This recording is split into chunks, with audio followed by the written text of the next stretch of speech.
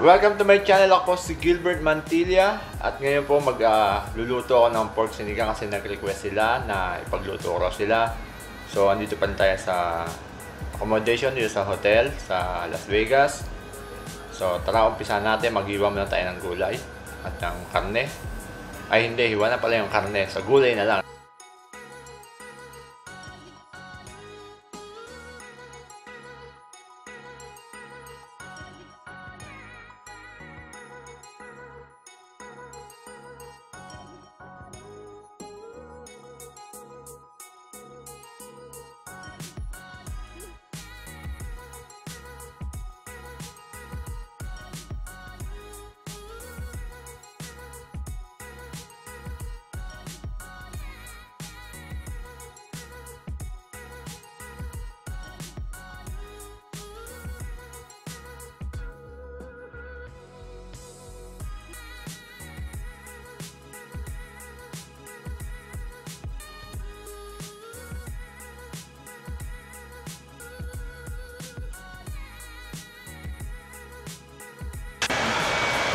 So ngayon, mainit na yung ating uh, tawag dito, kaldero. Kaldero. Tapos lagyan natin yung mantika.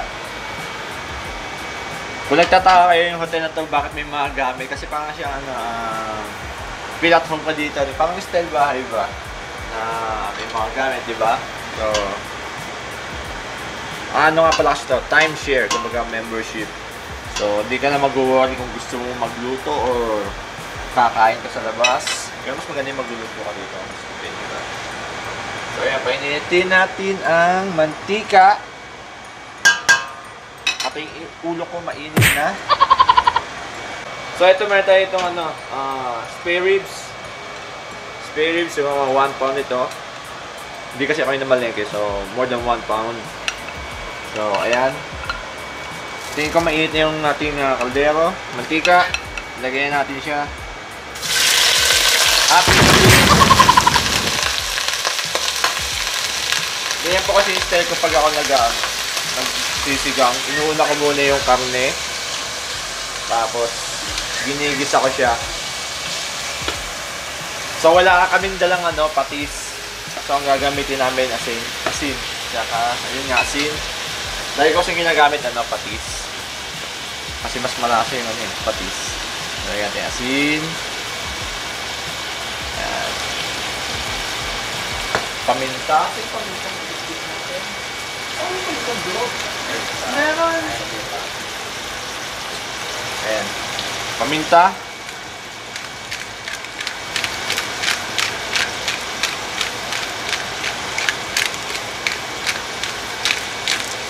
Wala tayong ano eh, wala kaming pressure cooker so baka bukas pa mata lumambot to.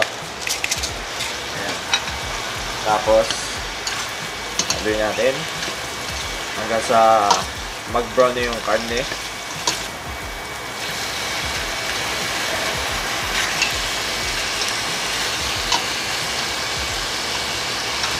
Di ba favorite mo itong Favorite ba sinigang? Hindi. Ay, hindi ba? Kaya pala. Hindi niya favorite ang sinigang. Ako, favorite niya yung sinigang. Naalala ko pa nung binata pa ako.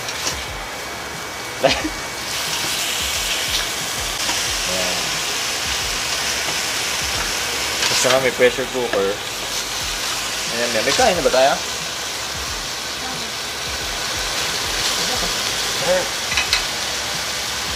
Takpan natin saglit.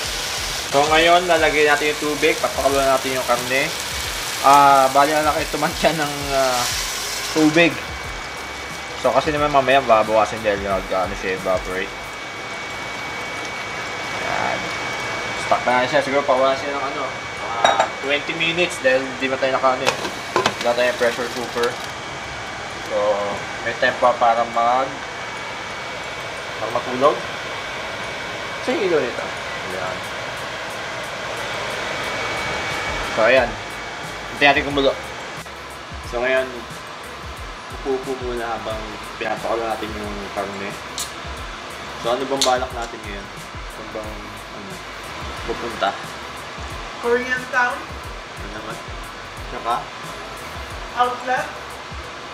anong May outlet? Ele- budget ka doon, $10. electric outlet ba yan? Ayun. 10 dollars ka budget mo. Kayo mabibili naman? Ganda.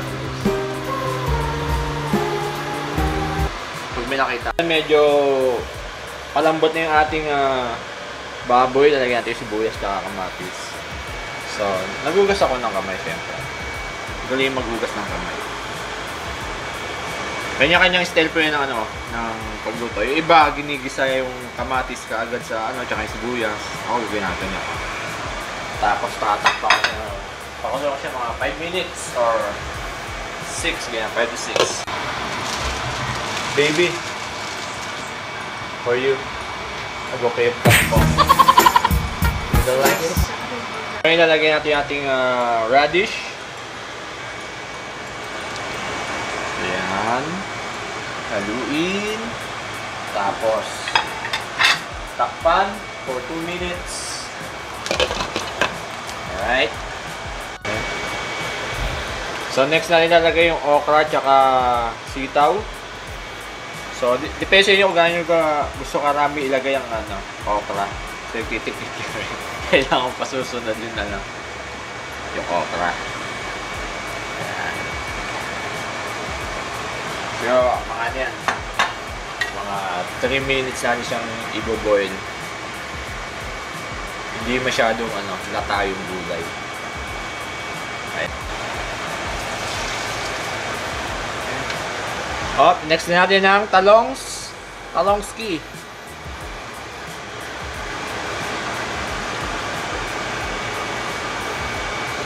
Parang maliit yung kaldero natin. Tinipiyak mo na yung kaldero na dito. Sinuli natin lalagay yung kangkong tsaka yung sinigang mix.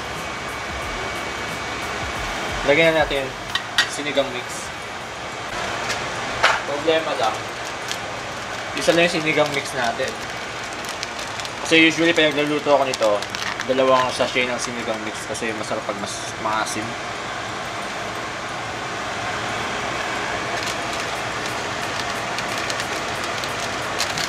Mas maasim, mas masarap kasi. Ayan.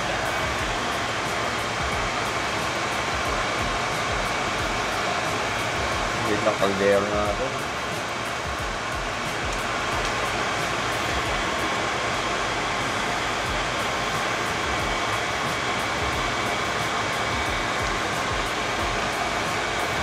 Ayan, simmer natin siya. Hindi natin yung apoy. Yung takpan. Alright. So, ang pa natin lalagay ang ating kangkong. Talagang maliit yung kaldero natin. Okay, lubog natin.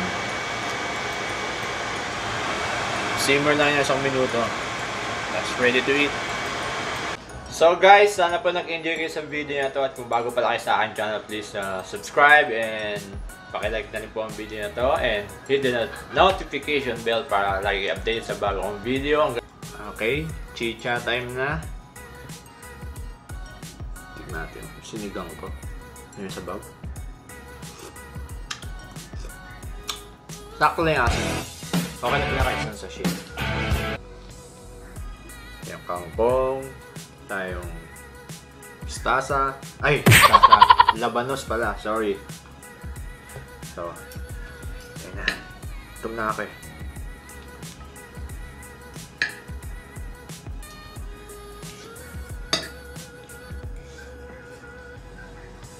Sarap. Hindi dahil luto ko ah. Hindi, masarap talaga. Kaya, makaparami din ang kain yung asawa ko. Well, yan guys. Bye na po. Tapos lang itong kinakain ko. Thank you for watching me.